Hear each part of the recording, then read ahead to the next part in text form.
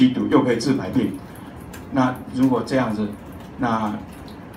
张志军是不是我们民间所讲的他是翁罗阿仙这样？哦，那我们看看哦，中国从用飞弹要打台湾，后来要用钱买台湾，哦，他要用九九二呃共识来照顾台湾，哦，哦，这这些哦都是谎言，都是哦他要并吞台湾的一个啊呃，这是一个普世的价值哈。那这个普世的价值，在今天呢，啊，因为啊中国因素的干扰，而使得台湾啊没有办法加入这一次世界卫生大会，我想这是相当令人遗憾的一件事情。那我们都知道，不管是传染病，或者是其他的对于人类健康影响的因素呢，其实非常的多，都需要呢。国际共同合作，尤其是这个新型传染病，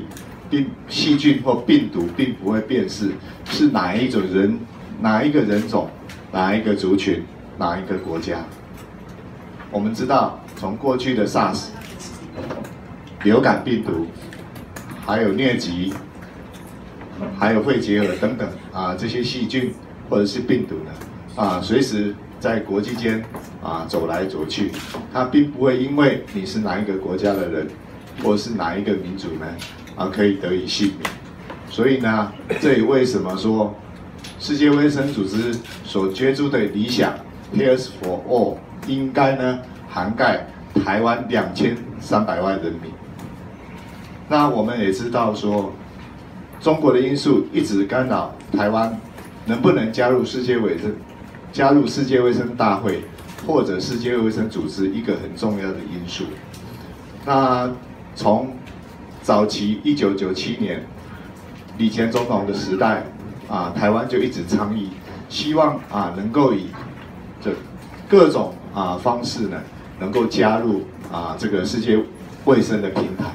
但是呢，常常就受到啊中国因素的这个干扰。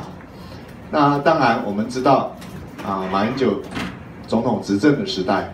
那他是所谓的啊承认九二共识，然后呢，让台湾能够以短暂的这个 Chinese Taipei 的身份呢，